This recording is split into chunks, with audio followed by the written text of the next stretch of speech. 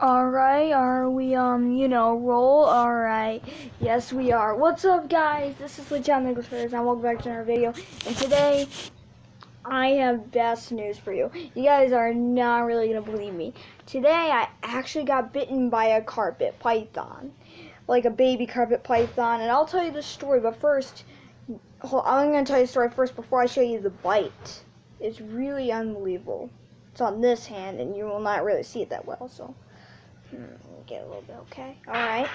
So what happened was, I told Donnie I was scared because I wanted to hold it to come over my fear. So I did it.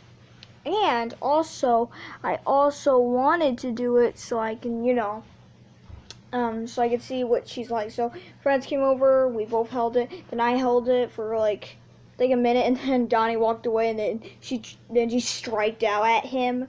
And then like finally we were having some fun. Then I decided to put her back and then she looked at my middle finger and then bit it. And guys ready to see the bite? It is right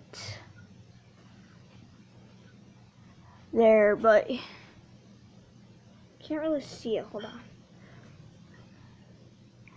I made a little white see little holes there You'll not be able to see it because I see it right there. See those little bumps? That's actually where I got bitten. So this video is not going to be long. It might be only a minute long. But what I just want to tell you is I actually had some fun getting bitten. And I put the band-aid on it. It was first bleeding because I felt, it felt like a pinch with teeth going through.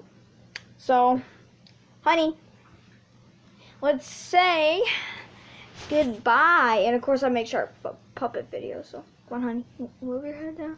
Three, two, one, bye. Right, honey, bye. Bye.